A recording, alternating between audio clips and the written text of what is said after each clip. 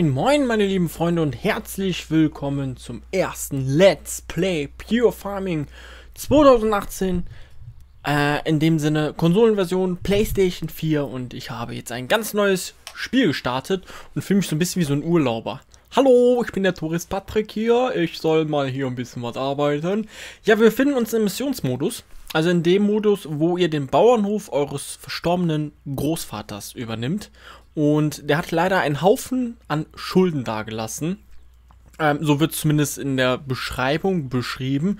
Und wir sollen das Ganze jetzt übernehmen und jetzt hier losstarten. So, wir sind direkt mal drin.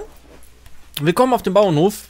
Sollen wir erstmal E-Mails lesen? Okay, wir haben eine E-Mail erhalten. Bankkredit. Mhm, mhm, mhm. Aha, mhm. 275.000 Euro. Aha. Krass. 275.000 Euro Schulden. Eieieiei. Aber das kriegen wir hin, Leute. Da bin ich mir ziemlich sicher. So, wir gehen erstmal nach draußen. Okay, das heißt, ich denke mal jetzt hier... Ah, wir haben schon 50 XP bekommen. Okay, wir können Erfahrungspunkte sammeln. Okay, so. Jetzt gehe ich davon aus, dass sie jetzt erstmal kurz hier alles zeigen. Die Nacht kann momentan nicht übersprungen werden. Warte bis 17 Uhr. Oh, cool. Ah, okay. Also hier vorne ist so, ein, so eine kleine Uhr abgebildet. Da könnt ihr die Nacht überspringen ab 17 Uhr. Also spult dann bis zum nächsten Morgen nach vorne. Das finde ich schon mal sehr, sehr cool. Okay, geil. Wir können die Nacht überspringen. Sehr cool. Ah, guck mal. Das ist dieser typische Anfang. Oh, was ist mit dem denn los? Die steht aber nicht so gut da. Uiuiui, hat, hat der Bauer Justus wieder falsch abgestellt. Finde das Kartoffellager. Hm, ja. Ich soll das Kartoffellager finden.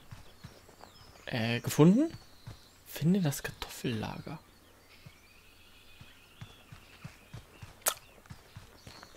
Ja. Ah, cool, das ist unser Silo. Das können wir auch aufwerten. Alter Schwede, 25.000 Euro. Guck mal, auch hier die Tore, die gehen von ganz alleine auf, Leute. Da müsst ihr kein Knöpfchen für drücken. So, wo, wo muss ich denn jetzt hin? Moment.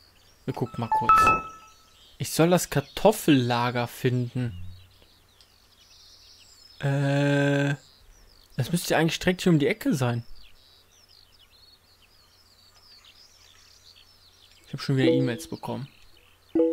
Große Karte. Ja, achso, das sind so jetzt die ganzen Beschreibungen. Ja. Ist okay. Ähm.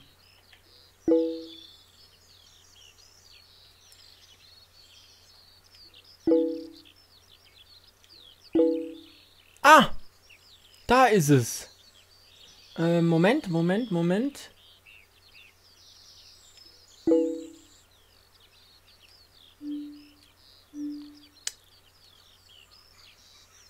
Markierung. So, ich habe gerade die Markierung gesucht.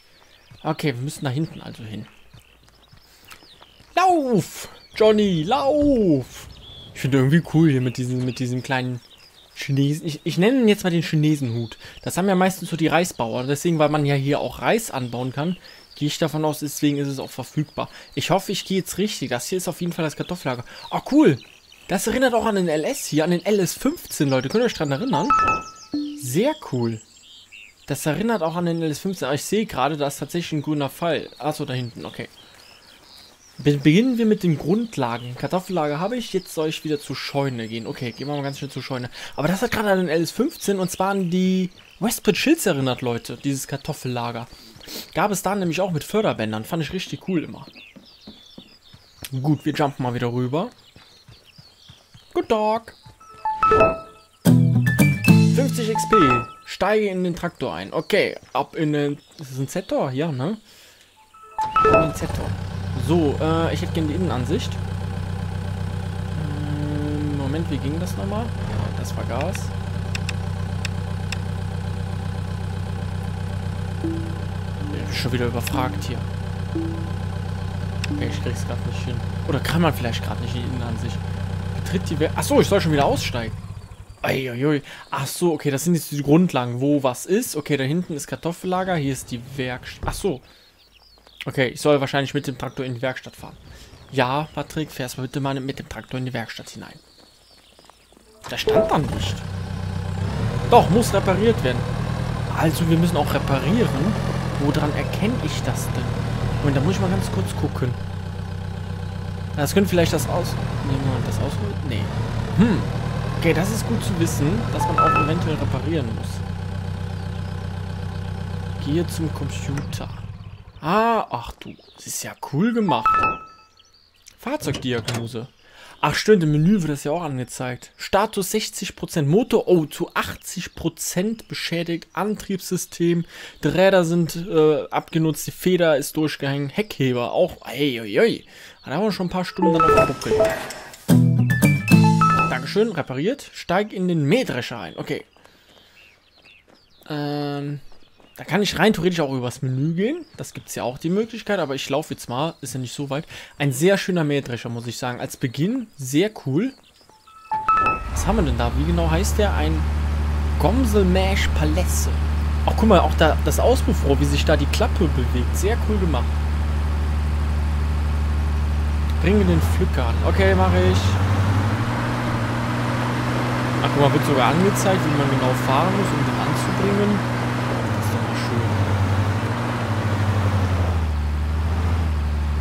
Eins. Begib dich zum Rand des Feldes. Wo muss ich hin? Ah, okay, hier vorne direkt. Ich zoome mal ein bisschen raus. Mal ein bisschen mehr sehen. So. Sehen wir auch ein bisschen mehr. So, ich sehe gerade. Mal hier so ein bisschen leiser machen. So, jetzt ist besser, denke ich. Okay. Bringen die Ernte ein. Okay, mache ich. Ähm ah, ach, cool. Ah, das ist auch cool. Man kann, man kann das selber bedienen, wo es halt hin soll. Okay. Okay, das habe ich soweit verstanden. Das ist für das Rohr. Und das ist für das Schneidwerk. Okay. Hier heißt es der Pflücker. Einschalten. Was heißt jetzt arbeiten? Ah, okay, dann geht er in die Arbeit. Ah, okay. Arbeiten heißt, er macht dann an. Und dann muss ich den eigentlich nur noch absetzen und Gas geben. Boah, der geht ja richtig ab hier. Elf Sachen. Cool. Strohablage gibt es auch. Was ruhig denn hier gerade überhaupt rein? Wo wird das denn angezeigt? Okay, unten rechts wird nur das Gewicht angezeigt. Wie viel es jetzt aber genau ist, sieht man nicht. Aber dennoch schön gemacht, muss ich auf jeden Fall mal sagen. Gibt es hier eigentlich auch die Fruchtzerstörung? Das müsste ich ja eigentlich gleich mal bei einer Bahn ausprobieren. Was ich auch sehr cool finde, ist, man, hier wird sogar angezeigt, wie viel man hier noch drauf hat. Verbleibende Kulturen 93% haben wir jetzt auf diesem Feld noch. Und wir haben schon eine halbe Tonne drin. Sehr cool. Ach da, Weizen. Da steht sogar Weizen. Okay, ich hole gerade den Weizen rein. So, jetzt will ich einfach ganz kurz gucken, ob es hier auch Fruchtzerstörung quasi gibt. Haben sie es gemacht? Nee, das ist nicht. Okay, ihr könnt also äh, durchs Feld durchfahren, meine lieben Freunde, ohne dass hier was passiert. Vielleicht kommt das ja noch als Add-on oder so, dass sie da vielleicht noch was reinbauen. Wäre auf jeden Fall äh, recht spannend und wirklich cool, muss ich sagen. Ich finde es cool, dass sie, die fahren eigentlich relativ schnell. Jetzt so elf Sachen, das sieht irgendwie doch sehr schnell aus. Und die Animation auch sehr schön gemacht. Also man sieht auf jeden Fall, dass da was passiert in dem ganzen Gerät. Und dann heißt es hier wieder anhalten, anheben, drehen.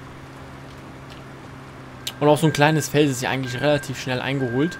Es ist halt der Hof eures Großvaters, den ihr jetzt hier bewirtschaften müsst. Weil er leider verstorben ist und keinen Nachfolger gefunden hat. Leider hat er einen Haufen Schulden hinterlassen. Wie viel waren es? 275.000, meine ich, waren es. Das ist schon ein guter Haufen Schulden. Aber ich bin mir sicher, gemeinsam kriegen wir den weg. Warum denn auch nicht? Es sind nun mal nur Schulden in Anführungszeichen. Da ist noch keiner von gestorben. Zumindest bei mir noch nicht.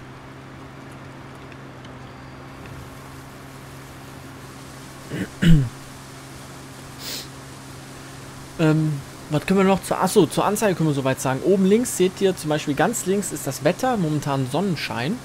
Ich glaube, es gibt auch Regen und so, das kommt alles. Dann habt ihr danach Tag 1, also das bezieht sich jetzt nicht auf Real-Life-mäßig. Hier, wir haben den 14.03.2018 heute. Nein, da in dem Spiel ist es jetzt Tag 1. Ihr habt die Uhr, ähm, steht jetzt auf 12.20 Uhr, ist äh, auf Stufe 1. Ihr könnt das bis auf Stufe 5 herochdrehen, dann geht es schneller. Stufe 1 ist allerdings nicht Echtzeit, wie ihr seht, sondern es läuft quasi so im 1, 2, 3, 3 Sekunden Takt ist es. Das habt ihr da. Darunter habt ihr dann eure Missionen, die ihr jetzt hier bei der ähm, Karriere, ich nenne es jetzt die Karriere, machen müsst. Habt ihr die. Und, upsala, ich muss auch absetzen. Da war ich wohl schon zu schnell unterwegs. Jetzt gehen wir mal kurz in die Innenansicht. Ich finde die Innenansicht auf jeden Fall sehr schön gemacht. Man hat sogar das Tablet hier immer bei sich. Das Tablet ist aber in dem Sinne nur ein, ein Bild. Aber das ist das Tablet, was ihr auch in der Wirklichkeit habt. Also jetzt hier. Das ist genau das gleiche. Finde ich sehr cool gemacht. Und ansonsten auch. Die Spiegel sind leider nicht animiert. Also ich kann jetzt hier nicht mit den Spiegeln fahren, um rückwärts zu fahren. Die sind leider nicht animiert. Wie ihr seht, ihr habt da quasi nur graues Bild drin. Na, das seht ihr jetzt da rechts am besten. Das ist leider nur ein graues Bild, was sich so, je nachdem wo ich hinlenke, guckt, ein bisschen bewegt. Mehr passiert da aber leider nicht. Somit ist eine Möglichkeit mit Spiegeln zu fahren nicht gegeben. So, ich bin voll. Moment, dann hole ich den gerade mal was vor. So. Hol ich schon mal das Rohr raus. Denn jetzt kann ich über mein Menü... Moment. Nee. Moment.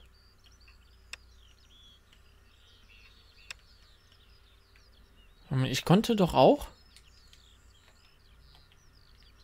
Hm. Okay, ich finde es gerade nicht raus. Eigentlich konnte ich doch über das Menü direkt in die Traktoren rein. Nee. Ich finde aber gerade nicht... Nee, ich finde gerade nicht heraus, wie es geht. Vielleicht geht es auch noch nicht. Vielleicht kommt das ja gleich. Vielleicht wollen ja explizit noch, dass wir hier laufen. Um nämlich mal hier hinten den Hänger. Den wir dort für natürlich dann anhängen. So, Heckgerät anbringen. Sehr gut. So, jetzt steht er auch richtig. Jetzt steht er nicht mehr so, so in, in der Luft. Und den kennt ihr ja bestimmt aus, auch aus anderen landwirtschaftlichen Teilen. Ähm, das ist sehr cool gemacht, dass die jetzt hier so vertreten sind. Bei denen, die wir auch so schon haben. So, ich gehe mal kurz in die Innenansicht.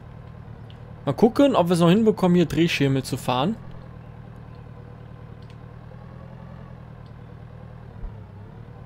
Ja, das war schon fast gut. Die Lenkung hier, muss ich sagen, ist wirklich sehr direkt.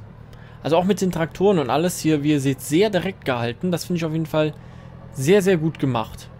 Aber Drehschirmel fahren ist bei mir momentan nicht mehr. Das, ich konnte das mal besser. Aber Übung macht ja gewiss den Meister. Oh, Moment, wenn man das jetzt so...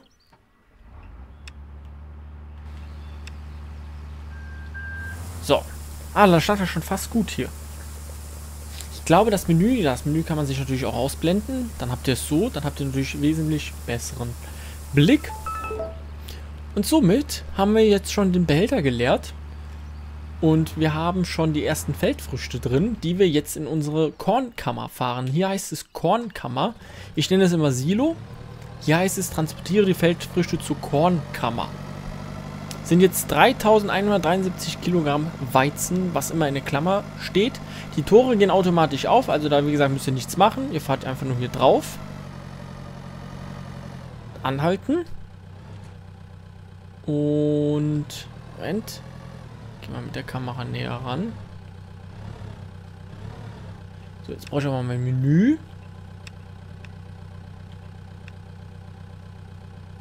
Ah, okay, Moment.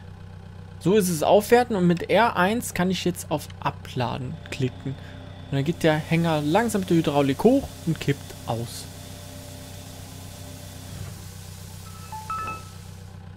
Ja, wunderbar. Und somit, Leute, haben wir schon unsere ersten Feldfrüchte reingeholt. Einmal Weizen bitte. Es geht, wie man sieht, voran bisschen Geld mussten wir auch schon ausgeben zur Reparatur. Ich bedanke mich recht herzlich fürs Zuschauen und ich hoffe, es hat euch gefallen. Gerne ein Däumchen da lassen, wenn ihr das noch nicht getan habt. Auch gerne ein Abo. Ich würde mich persönlich sehr darüber freuen. Wir sehen uns dann in der nächsten Folge. Vielen Dank fürs Zuschauen. Bis dahin. Tüdelü und tschüss.